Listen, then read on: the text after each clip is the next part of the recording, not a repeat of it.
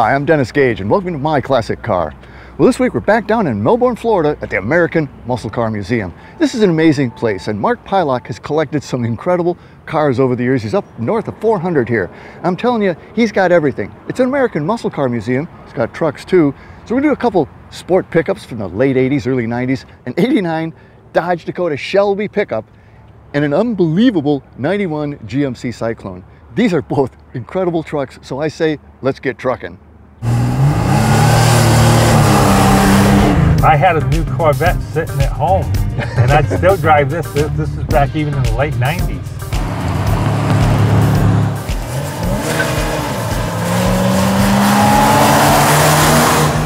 Oh, geez, it's got 37 miles on it now. High mileage. High mileage. Now. Time to find another one. Hey, Mark, great to see you again. Great man. to see you, Dennis. Know, it's always fun when I come down here. And it's, of course, the American Muscle Car Museum.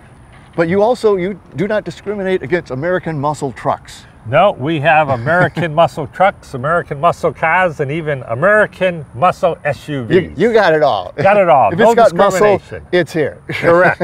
Correct. Well, that's what we got. We got a couple really kind of interesting trucks here from the uh, late 80s, early 90s, a time that wasn't real muscular.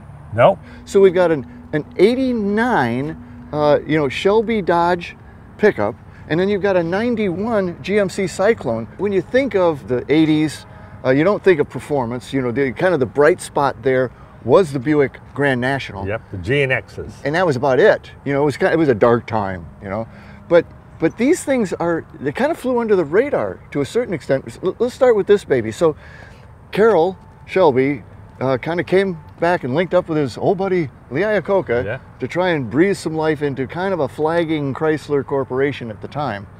And this is one of the things that they uh, they came up with. Yep. Carroll Shelby went ahead. He was brought on board by Lee Iacocca. He said, we need to get some performance going again. Yeah. So, of course, Shelby was with Lee Iacocca and Chrysler back in the 80s. And of course, if you remember, the first new Dodge Shelby they came out with was the new Shelby Charger. Mm-hmm. And people thought, wow, that's like the new GT350 Shelby Mustang. And then before you know it, they were taking the Omnis and turning them into GLHSs, Which were amazing cars, by which the way. actually were pretty hot little, they were you know, Econobox. they were surprisingly hot. They were pretty peppy, okay, and they were economical. Mm-hmm. And I remember driving brand new an 83 Shelby Charger. Uh-huh. And of course, I had an original 66 GT 350 at that time. And I said, well, there's no comparison between the two, which there wasn't. But it was still a peppy little car. You Yeah. know what I mean? That little 2.2. And I know it only had 107 horsepower, okay? But you know, you got on it. Hey, you could, you know, you look pretty good going zero to 60 in that. Now, now, don't expect to go much over 60, but hey, up to 60, it was pretty pretty sporty. there. pretty sporty. And by the late 80s, okay, you started seeing slowly in America, you know, this this growth of more pickup trucks. Uh huh. Yeah. And, and of course, today in the world, let's face it, in the United States, pickup trucks are a third of all new vehicles. yeah, it's a pickup truck world. Uh, pickup truck world, they're like luxury vehicles. You Yeah, get in a, a pickup truck today and you drive it, you know, you'd swear you were in the top of the line luxury vehicle. But back in the day, well, you know, like I have a 55 Cameo and I got a 59 Apache Chevy, and I'll tell you, those ride like pickup trucks. They are. Tr- They're still trucks. They're you know? really a They truck. looked pretty good. They looked great. They were trucks. They were trucks. You don't want to drive cross country in a pickup truck like that. Now, if you want to go to the farm, go out in the woods, hey, perfect vehicle. And look good doing it. and look good doing it, okay? But but finally by the the late 80s, okay, they started coming back. Let's let's look at this performance pickup. And so in 1989, it was the one only year that they came out with a quote Shelby Dodge pickup. And and Dodge actually built 1,475. You had two color choices. You had, of course, as Shelby called it, exotic red. Mm, okay. yeah. Really, it was the standard factory Looks red. Dodge. Okay, but you know you got to put a little spice to it. So exotic red, or you could get bright white. And Uh-huh. so they made 480 bright whites, and of course the balance, which was the most common, was Shelby's exotic red. That being said, he wanted to improve the standard vehicle. Standard for the Dakotas were typically like a four or six cylinder power plant. Right. So, knowing Carroll Shelby, he loved his V8s, he said, What's the biggest power plant we can throw into this Dakota? Well, he found out he could throw that old 318 cubic inch engine in it. So this thing is- still has a 318? Three, has still a use- 318, has a 5.2 liter, and the factory engine itself produced 170 horsepower. Uh-huh. Um, he went ahead, of course, made his modifications. He put an electric fan in instead of the typical uh, belt-driven Right. fan assembly, gained five horsepower there. Uh, performance upgrades, of course, with the wheels. He put a front sway bar, gas shocks all around, beefed up the braking a little bit, It's actually fuel injected, but but with that kind of carburetor looking fuel injection system. Correct. Right? Correct. And and so it was geared towards let's get a little better fuel economy.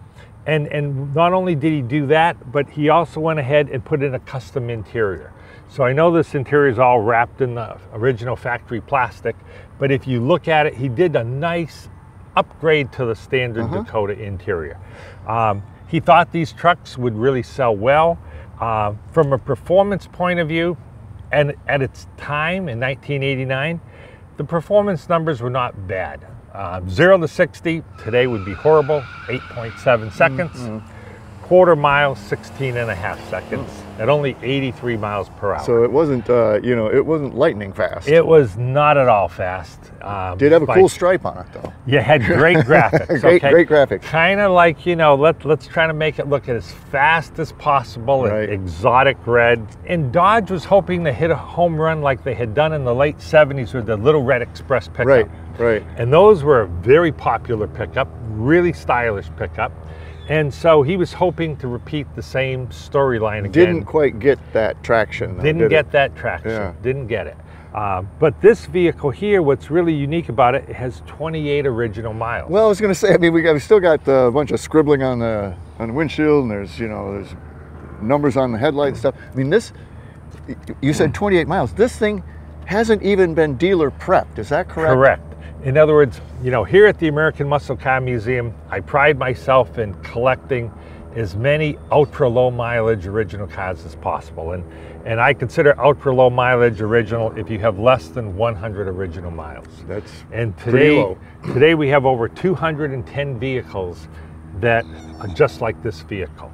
Really so less like than 100 original miles. so roughly half the collection because you're you're north of 400 vehicles. little little more than 50% of the collection is considered Less than ult- 100 miles. less than 100 original miles.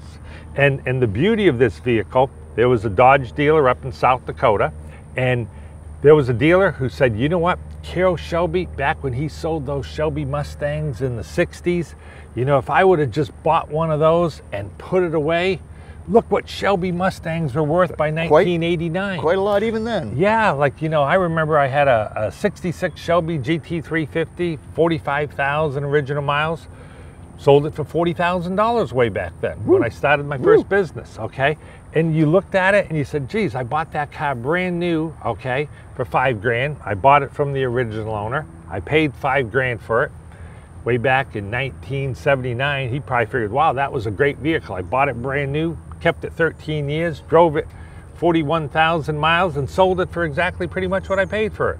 And I I bought it for five, sold it for 40 you know, basically 10 years later. So the Dodge dealer said, Man, I'm to go ahead and I'm to collect one of every Shelby Dodge. Whatever Dodge puts with a Shelby name, I'm buying them. How'd So- that work out? Actually, it worked out really well for me, especially, okay, because he collected six vehicles, five of which had less than 100 original miles. Never This- dealer. the dealership did. The dealership did. Wow. And so I actually uh, bought all of these vehicles now uh, just a little less than 10 years ago. Okay. And so I actually bought them at an auction. And of course, there was nobody really looking at them. So my typical price I paid was 13, 14, 15, 16,000 a vehicle. In that whole in that whole In block. that whole block. And there was one car and another car and another car. And, and I was the only person bidding. I was going to say, did you have any competition? no, Not really. no, not really. You know what I mean? And and actually, the pickup truck went for the most amount of money. Um, it went, I think, for around 17,000 something. And because you could have more utility with a pickup truck, of course. And but I was like, hey, I already bought five. I'm not going to let this one get by me. So of course I was the top bidder. And the guy looked at me. I remember he was sitting right opposite me, and he says, "You're buying all these others." I said, "Yeah, I'm buying them for a car museum." And he's like, "Ah, oh, go ahead, buy it. I, He's, I'm just going to use it as a work truck for No. the guys. And I was like, no, no, no. I says, I, I want to protect it and save it. You know, Yeah. you know, you'll never find another one with this many, you know, delivery miles. And uh, so I ended up buying all of them. And uh, when I actually brought them up here, and and Ed actually saw all of them, he was like, "Where did all these Shelby Dodges come from?" Well, actually, uh, let me tell you the story. they kind of just all showed up at once. Yeah, they right? all showed up. So, so the dealer who you know was way back um, when he bought these all back in the '80s. Um, if you're still alive, or if you worked at that dealership in Milbank, South Dakota, you're welcome to come here, and we'll give you a free tour at the American Muscle Car Museum and and show you all the vehicles that that owner bought brand new, put away, never dealer prepped. And so today they're sitting here, and now it's been 30 plus years. Well, it's you know, it's it's really, it's it's really. Well, I was, it looks brand new. Well, I, I guess that's because it is. It right? is. Yeah. And and the beauty is everything that we kept, you know, that we we purchase, we, we keep in brand new condition. So, Uh-huh. You know, the buildings are all air conditioned, dehumidified. Okay, all the air is HEPA filtered. Uh, the vehicles are kept in running condition, every vehicle. And most people, if they get a bunch of cars, they just pack them away into a building and they're never seen or touched for years. And then they finally pull a vehicle out and they go, okay, what do we need to do to get this running? Yeah, which is a big job. Which and they is- sat there, and if it's not climate controlled, they've rusted just Yes, sitting there. Your chrome's yes, pitted. It's yes. like And- they, they don't. If you don't put them up right, they they go bad fast. They go bad fast. Well, you know, you still got the. It's, it's faded, but you still got the window sticker on this. Which have have the old dot matrix printer. I'll say, like. which and it, and she went for uh, sixteen six seventy. yeah, Can I open it up? yeah. Go ahead, open it up. Yeah, So, uh, interior wise, it's under plastic. Yep. But that was the trick interior you could get at the time, right? yeah. That was how That- they upgraded it, it. yeah. They gave you the upgrade in the seat. And you got the fat wheel. Yeah, and you have the leather wrapped steering wheel. They're each numbered too. Yes. This is number six. Number six of 1,475 that were built in total. So this was definitely built on the first day of the assembly line. Wow. Which back in the day, like they used to always say, never buy anything made the very first day. because they're a- learning as they're building There's it. a reason for that. yes, there's a reason. Dash wise, is this pretty much what the you know the the stock truck would have had, or I guess they Basically, 100% stock for the dash, except for the little plaque that they put in there. uh huh. But back in the late 80s, sport pickup trucks, the Dakota, when it came out, was a huge selling success for Dodge. Uh-huh. That there was definitely a market for this smaller size pickup. And so, um, you know, this was a good selling vehicle. Of course, it wasn't as successful as they would have liked being the Shelby, of course. Yeah. And and the final customization of all this was actually done by Shelby American. In other words, um, Dodge didn't do all of the work. Basically, like in the old days, Dodge would build a standard truck, And send it ship off. it off to Shelby American, and Shelby American, Carroll Shelby, would do his customization. Do that voodoo he do. Yep, which he did on this. And then, of course, they would be turned back over to the dealer network for sales. Uh, so, number six of 1,475 ever built. Um, I've been told that this is the lowest original mileage Shelby Dakota pickup truck in the world. Wow. Um, if somebody has one with less than 28 original miles, please contact us at the American Muscle Car Museum because we'd love to see it and take some photos Hey, I of know, it. I know you. You'd love to buy it. Well, hey, well, maybe. Who knows? you know, I always buy a duplicate. You know, every now and then, if I find something with less original miles, you get it. I'll buy it, and then I'll eventually sell off the duplicate or donate it to charity or whatever the case Wow. may be. Well, go ahead, open up the hood. Good old hood prop. Yeah, got the old hood prop. So that's a 318, which actually fits pretty nicely in there. Yeah, gives you actually still quite a bit of room to work on it compared to a more modern car today.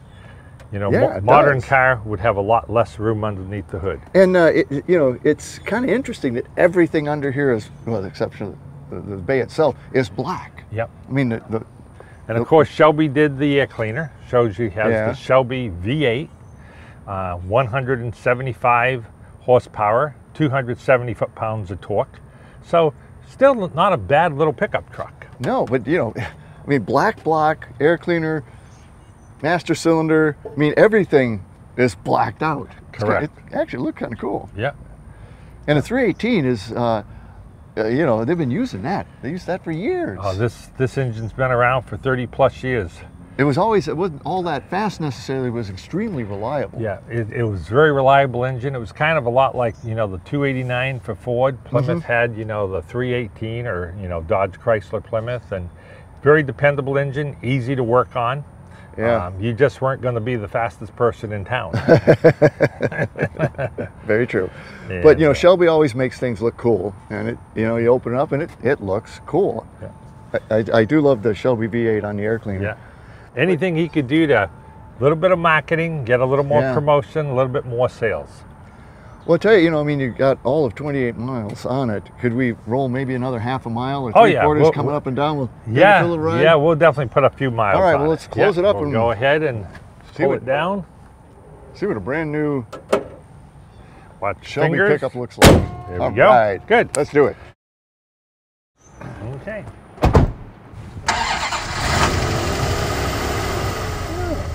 Starts right up. Yep. Nice sounding. That does have a nice little rumble to it. All right. Here we go. Okay. Boy, a plastic wrap steering wheel.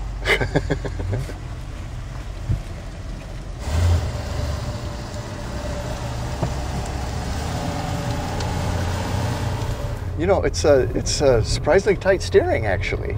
These are nice trucks. You know, the old Chryslers, of course, back in the 60s and 70s, you had a lot more corrosion, but by the late 80s, you know, give Chrysler Corporation credit. They were building a pretty nice vehicle. getting it worked out. They were getting the, the problems worked out. And, you know, of course, they had to be fuel efficient. Yeah. You know, and, and so they were heading in the right direction. And, you know, Lee Iacocca did a great job at Chrysler and turned them around. And Carroll Shelby helped them out. And it was a, a winning team. It, it was, and it was such an interesting combination and an interesting time because again, it was really a dark time for performance.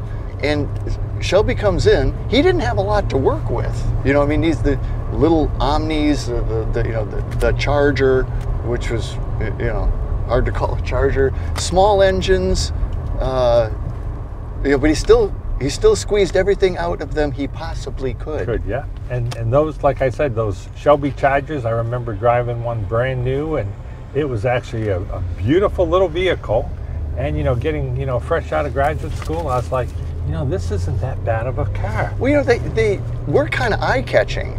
Uh, you know, they certainly weren't, and it, they took some heat back in the day because they, you know, Shelby and all, and it was faster, but it wasn't that fast. Yeah. But they did look pretty cool. It was a little peppy, you know, vehicle, and uh, but it got great gas mileage, Uh-huh. had pretty good reliability, and so it was a winning combination. You know, Lee Iacocca with that little 2.2 liter engine, man, they built a lot of vehicles, and and then of course when they came out with the minivan, they went from saving the corporation to becoming a very profitable corporation. Yes. Yes. So Lee Iacocca had worked his magic. Yeah, he was a pretty amazing guy. Yeah, I never met him in person. I've met Carroll Shelby in person. That- Now, that was an amazing guy. Now, you had to be in his position. What impressed me about Carroll Shelby was just what a gracious person he was. I mean, this to a lot of folks, Carroll Shelby's a god, you know, and and yet he was down to earth and uh, you know treated everybody with with respect. It was it was really nice. Well, he came from a very humble background. Yeah. And, and he never lost that through his entire life. Yeah. You often don't see that with today's celebrities. Uh, no, But back in the day, he, I remember he'd go to the different, you know, SAAC national conventions, and he was always very friendly and would he talk was. to people. He'd and- autograph anything. Yep, autograph anything, get your photo taken, and you know sometimes it's kind of like, gee, just give the guy a poor break. You know, let him go to the restroom. You don't have to bother him inside. He'll be right back out. You know, he's not going anywhere. he was an amazing guy too, and just uh, uh, driven you know, uh, all about performance. You know, I'm Carroll Shelby, and I build race cars. Yeah.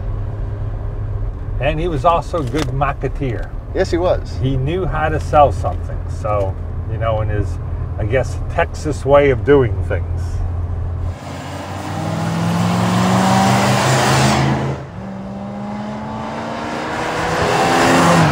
Well, this thing's this thing's kind of fun. I This I is a nice riding truck. now. Did you have one of these that you you used? No, or- but a friend of mine who I worked with had, Had one. one. So I used to go to lunch with him once a week. We, you know, once a week we go to lunch. One week I drive, one week he'd drive, Uh huh.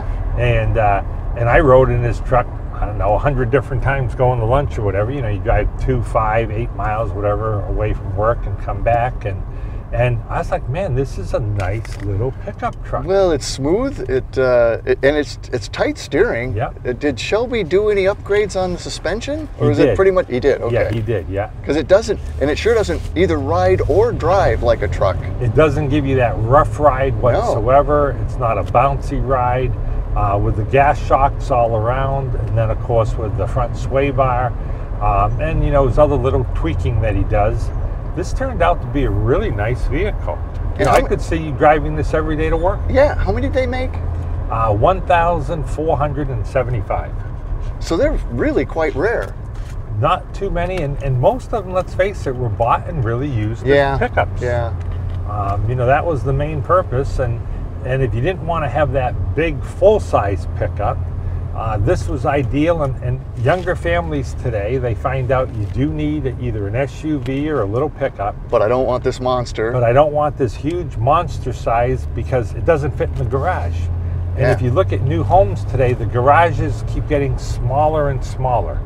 You know, you're lucky if you get 20 feet by 20 feet. And you don't have room if you put in a full size pickup. yeah.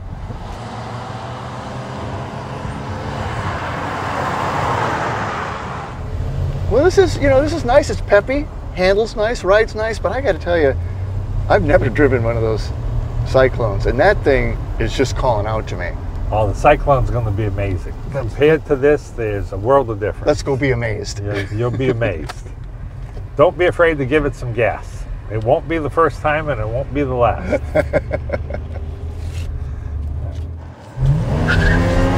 Ooh, you, you can trip it in second. Yeah. Wow, that was a lot of fun. You know, the positive traction, uh, you get a second gear shift chirp. Yeah, you had gotta two, respect two that. pieces of rubber. two pieces. I love it. A lot of fun. Carroll knew what he was doing. Yeah. So the the Shelby's pretty nice. I mean, for 175 horse, which doesn't sound like much, it, it's got some get up and go. It's a little bit of get up and go. It's not like today's modern high performance pickup, No. but back in the day, hey, it was a nice little sport pickup. And for $16,000, you know, you're not driving a Ferrari, okay? you know, you're driving a, a Dodge Dakota, you know, Shelby pickup. So for 16 grand, you can't so go bad. wrong. But speaking of driving a Ferrari, now we're going to step it up in performance and everything. And when we jump to this 91 GMC Syclone, this thing is a super truck in a lot of respects. And the other thing about this truck that's real different, because that's not even dealer prepped 28 miles. This one is one you used as a daily driver. Is that right? Correct. This vehicle has 56,000 miles on it. Wow. And this is a vehicle I used as a daily driver. And I'll tell you a little story of how I got into the Syclones. Way back, of course, 1987, the big news, of course, was Buick and their Yeah, GNXs. yeah, Grand National. And you know, the Grand National, they had that 3.8, okay? And of course, the standard Grand National was about 245 horse. Of course, when they built the 500 GNXs, they bumped it up to uh, a total of 300 horsepower. right. Uh, they had sent the cars out, and ASC had massaged the, you know, quote, turbocharger, increased the boost to 16, you know, psi, and so they could hit 300 horse. And back in '87, the Buick GNXs were the quote the fastest production Well, car they in the were world. they were the uh, they were the sleeper surprise of the 80s. Correct, especially in a Buick. People didn't expect it in a Buick. Yeah. And so, having seen that, well, back speed forward four years later, I saw that GMC, because I was a, a Chevy truck man, I saw that GMC was coming out with a new Syclone. And it was going to be a 4.3 liter, which was you know the upgrade in the S10 Blazer. You had the 2.8 Yeah. liter, and then of course you had the 4.3. But they were saying that they were going to do the same that they did with the GNX. They were going to go ahead and turbocharge it, give it a liquid intercooler, and have 280 horsepower. And I was like, man, 280 that's horsepower. nice. That's not quite a GNX at 300, but it's more than the 245 for the standard Grand National. And then, so what really sold me on the car is back then, Car and Driver did an article, and it compared a brand new 1991 GMC Syclone. Uh-huh. Okay, and of course, if you loved black, that was the color you wanted to order because that's the only color you could buy from the factory. Just like the Grand Nationals. Yes, just like the Grand Nationals. If you had it, it had to be black. Yep. Okay. Um, now there is a little twist. Uh, there was a little over half a dozen cars that Marlboro actually purchased, had painted red, Hmm. the Marlboro red, and those were known as the quote Marlboro cigarette commercial GMC Syclones. But that was not a factory produced vehicle. That was a quote advertising produced vehicle. But in total, they built 2,995 1991 GMC Syclones and three that were actually titled as 1992. But they were all black. Now, the article I'm mentioning is, you know, back as a kid, okay, and the young adult, you know, I always got my car magazines, and every month they would come, and I'd get Car and Driver and Road and Track, and you'd flip through them, and and they had an article in there, the new GMC Syclone against the brand new 1991 Ferrari 348 TS. I've Okay. yeah, I've seen that. And and so you know you're looking at the article and you go, man, brand new Ferrari. Hey, 296 horsepower, 32 valve V8, all aluminum engine. Okay, top speed 171 miles per hour. Man, what a fabulous car with a five-speed manual.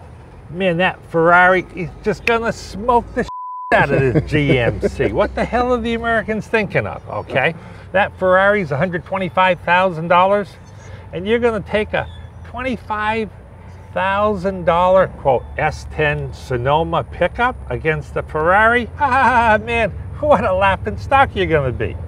Well, they actually line the cars up. Let's see what they actually do. Well, this GMC Syclone, I got to give the engineers credit at General Motors they were ahead of their time. They thought that there's a true market for a luxury pickup truck, that people actually spend as much money or more for a luxury pickup truck than a regular car. no way. and and you know, back in, in the early 90s, GM was way ahead of its time. And of course, they came out with the Syclone in 91, they came out with the Typhoon in 92, 93. Mm-hmm. They didn't sell very well. They did sell what they Well, built. they were expensive. I mean, what you said, They- they- 25, 25 grand was a lot of money. That was a lot of money. I could buy a brand new uh, 4.3 liter um, V6 S10 four door for fully loaded for about eighteen Uh-huh. dollars. So that little pickup truck was a huge premium. But when I read that article, it was like, you know, here you have, okay, two competent drivers. And then I, I'm suggesting that when we get done here, we put a little drag race here. We're going to go ahead and we'll see how the Syclone compares to that To the Shelby. Dakota pickup, okay? And then we can send it on the Shelby American, the video, and kind of give a little jab to Gary Gary Patterson there at Shelby American, okay? But no, Gary's a great guy. But but that being said, in the article, it said that this vehicle could do zero to sixty in 4.3 seconds. Which back in at that time, that was really, really fast. That was super fast Yeah. because the brand new Corvette ZR1 that came out in 1990, it could go 0 to 60 in 4.9 seconds. So you're telling me that this little pickup truck is faster than the $60,000 plus new Corvette ZR1? And the Ferrari, of course, let's put it in relation, a brand new Ferrari, 1991 348 TS, had 0 to 60 in 5.6 seconds, Wow. which was actually still a very reasonable, fast automobile.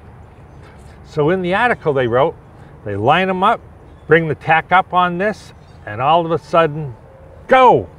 Well, as you read the article, almost instantaneously, this vehicle shoots ahead and the Ferrari just sees the tailgate of the Syclone. and he just sees the tailgate getting smaller and smaller. But don't worry, it's a Ferrari. He's done first gear, shifts into second, starts closing a little bit. Well, that tailgate, it's still hanging at about the same size. I'm not gaining on it, but I'm not losing on it. Third gear comes, now the Ferrari starts kicking it, and they're going, and they're going.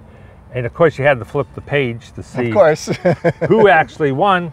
And the winner was the GMC Syclone. Beats a 348 Ferrari in a drag race, hands down. So, I mean, 25 grand was a lot for this pickup, but it was against a 125 grand? 125,000 yeah. Ferrari. Five times the price the Syclone beat him. Not once, but twice, but three times. Wow. Okay. Well, it, this was the fastest production vehicle in the world. Is that true? Correct. In, in 1991, this was the fastest production that, vehicle just, in the world from insane. zero to 60. And I can tell you what made that so successful, not only was the engine and the power plant, but all-wheel drive. Okay. Oh. They had 35% of the power to the front wheels, of course, where most of your weight is sitting. 65% to the rear wheels. With that all-wheel drive, you're not getting any wheel hop, okay? It's just it's just gripping and, and going. going, wow. okay? And so you have great straight line acceleration. And that acceleration, I can tell you because I drove, you know, thousands and thousands and thousands of miles, okay? A lot of red lights, okay? I can tell you in all the 0 to 60 red lights I ever ran, Nobody ever beat me. No kidding. Okay? You could do it in the pouring rain. you say even all weather, huh? All weather. Okay, as long as you have good tires, and like I tell people, always maintain good tires because you're riding on your life. Okay, you could smoke anything even in the pouring rain. Okay, it handled great, and so people said, well, performance-wise, it's like a sports car. Yeah, it is, but it's still a pickup truck. Yeah, yeah, it okay? is. And it's a pickup truck. Now, granted, I'm not going to be putting 2,000 pounds of steel or concrete block in the back. It's rated at 500 pounds, but I actually use this as a work truck. And the one thing I did on this truck, of course, the original uh, vehicle, of course, had a tonneau cover with just snaps on it. I actually ordered a hard lid cover, fiberglass uh -huh. cover, put it on, it's more secure and, and lockable. And it, look, and it looks really cool too. And it actually looks really nice. So you've got, what do you say, you've got over 40,000 on this? Um, has 56,000 miles. I bought it when it had 9,000 original miles from the original owner for $14,000. Now this has been restored. We went ahead and we actually did a frame off restoration on this vehicle. Um, the interior is still 100% original. I mean, this, so you didn't redo the interior? Nothing was done in the interior that whatsoever. still looks great. Um, and I tell people, if you take good care of things, uh, always kick the junk off your shoes before you get inside. Uh -huh. Vacuum your vehicle every week. You know, be careful if you're eating or drinking in your vehicle. It can still look brand new after 56,000 miles. I can't believe that. I mean, that's good fabric to, to look that good at 56,000. And, and I'm not the smallest guy. No, you're not. I, I weigh 220 pounds and I'm 6'5". And, you know, so there was a lot of weight sitting in that front seat and that seat still looks brand new it, as it did from it the day great. it came from the and factory. And I love the gauging. I mean, it's this was the era of idiot lights. Everything was an idiot yep. light, but you actually have gauges in this Have car. gauges in this vehicle. Man, and this man. vehicle runs at 14 psi. Oh, really? Yeah, 14 psi for boost. A boost. Wow. Yeah. Well, let's let's pop the hood. We must yep. do it from the inside anyway. Yep. We'll go ahead and beautiful vehicle. Okay, we'll go ahead and open up the hood here and you'll see the 4.3 liter. Now that, that is packed in there. That's a lot tighter than what you just saw here with the Shelby Dodge Dakota. Yeah, I'll the 4.3, definitely tight. And the beauty of this car, like they said, for drag racing, do it when it's cold. In other words, this vehicle... Dense air? Yes, you want it cooler. So if you're gonna run, run early, okay? But don't try to run all day. So it's best actually if you go out and you do racing when it's less than say 75, 80 degrees outside. Uh -huh. um, if it's actually raining out, cooler weather, it's the perfect vehicle. And like in anything today, you have to pick the ideal conditions. Um, you know, today in the in the world, they always try to hold everything under perfect conditions. Like you know, the Super Bowl is held inside an air-conditioned stadium. Yeah, but that's not how most people play football growing up as a kid. You know, you're playing in the cold, you're playing in the hot, you're, you're, you're playing in snow, you're playing in rain, okay? That's where you really kind of separate, I'd say, the men from the boys, okay? You know, not this perfect condition.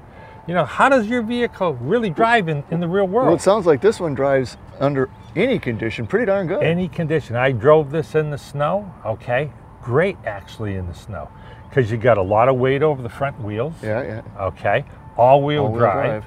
And I would drive this, you know, 30 miles one way to work, come in on a snowstorm, and people said, How could you get here? Hey, all-wheel drive, Yeah. good tires.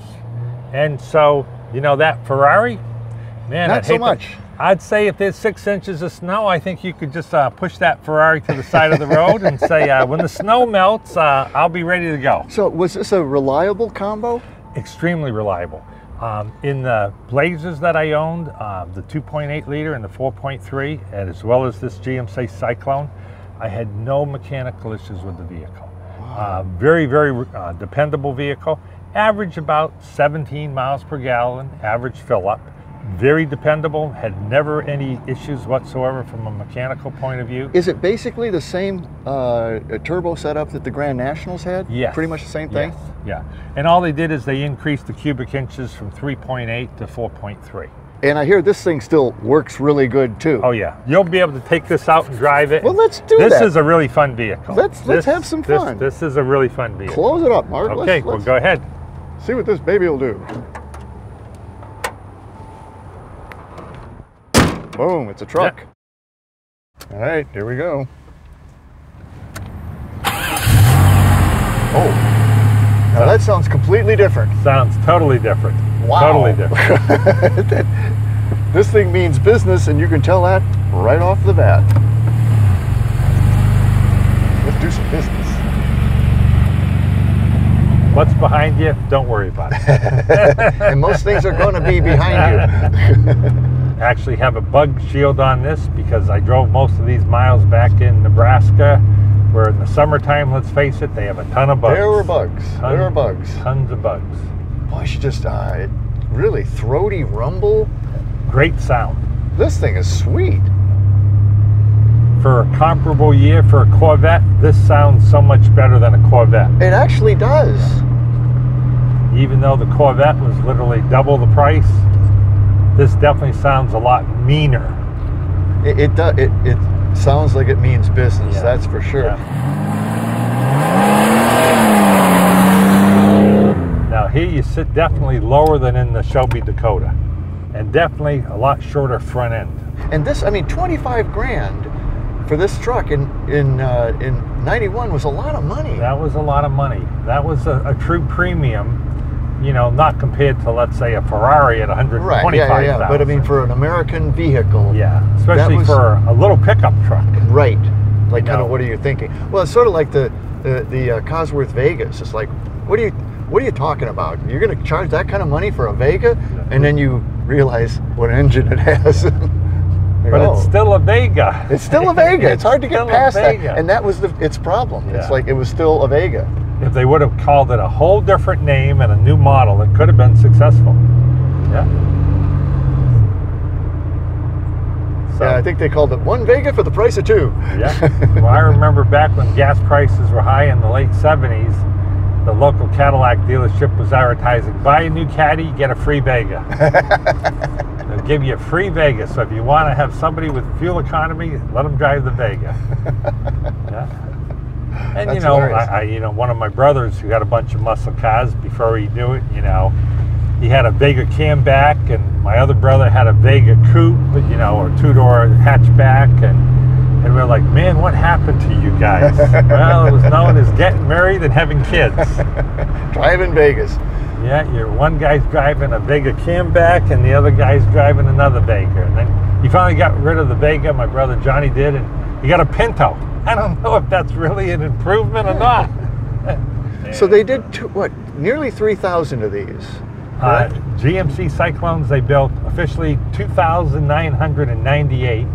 Um, three of them actually were titled as 1992, but the rest were all 1991s. And these were only available in black. That was Uh-huh. the factory color. Uh, they also built, of some of those actually went to the Middle East. Uh, they Oh, actually produced and shipped 100, and I think 131 of them to the Middle East. And uh, a few of them actually came back unsold from the Middle Uh-huh. East didn't really give you the appearance of a luxury vehicle if Yeah, you were an, yeah. an Arab sheikh. They probably gave them out to their maintenance people.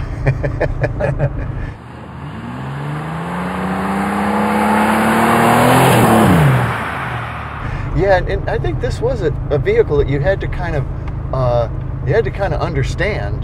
You had to kind of know what was going on to get it, because otherwise, it it's you know it's okay. It's a little pickup, looks a- got some uh, you know ground effects on it. That's kind of cool, but eh. But then you hear it fire up, and you go, oh, oh, I see. yeah, I think a lot of people thought it was just another decal special. Uh huh. And then finally, when they, you know, Car and Driver and Road and Track started doing reviews on them, and they said, you know, this vehicle actually has really good performance. You know, it really does. And maybe that's why they only put little decals on it. they didn't put those big body side decals on it. This would be comparable to the, today driving like a, a new Tesla electric vehicle. We have that such faster acceleration than the average yeah. car. That's how this was. It's a sleeper too. I mean, this like it's like again, it's like oh, it's a pickup truck. huh? Yeah, it's a pickup truck, you know. Boy, you get a little bit of turbo lag. Yeah. But boy, when that gets there, it's there. It's- and the tires are gripping. They are. You can you can really all, feel all four wheels. it. just bites. Can I punch it? Yeah. Oh yeah. Oh yeah. Yeah. Okay.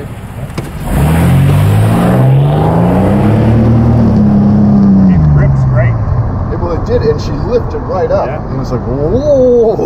Yeah. did you see that they just kind of lift up and go? Like I could feel all four wheels gripping. It was just like, yeah. let's go.